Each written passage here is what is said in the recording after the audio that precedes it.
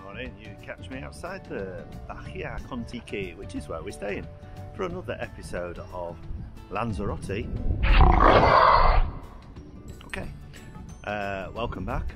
This is day three. Uh, we're just sort of keeping up, don't worry about it. And we're just doing the bread run. So it's a long way. Give it a spin. Over there.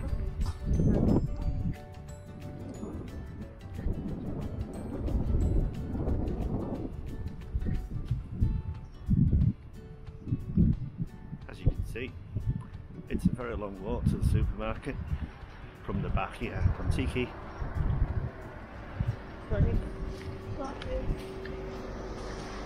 to get the bread.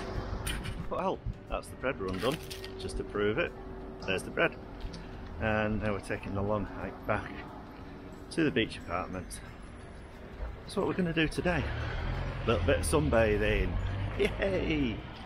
Yeah, we'll be going for walks later. And we get followed. and People listen to me. It's a bit weird.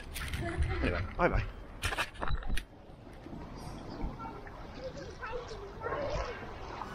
We interrupt this sunbathing to bring you some hot breaking news, sending our roving reporter, Russ Newshound, down to the local spot. Hi, this is Russ Newshound outside the Contiki Club where we have a local resident who saw everything that went on. Can you tell us what you saw? Yeah, I was just looking outside the window and I saw these two sunbeds, but nobody was on them. And what happened next? Well, they just put the towels on them and left. I think they reserved them.